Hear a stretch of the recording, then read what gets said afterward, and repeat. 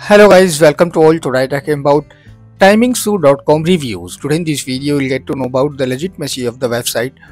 Friends, this is not our website. In case if you have experienced any fraud over this website, then watch this unbiased review video till then. We will share the your money back. Friends, I request to like the video, share the video and subscribe to my channel. Let's talking about website legitimacy checkpoint.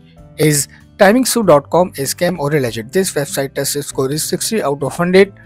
Why does timingsu.com have a reasonable test score? We think timingsu.com is legit as we found 5 indicator which might point to a scam. Timingsu.com review resulted in a test score of 60.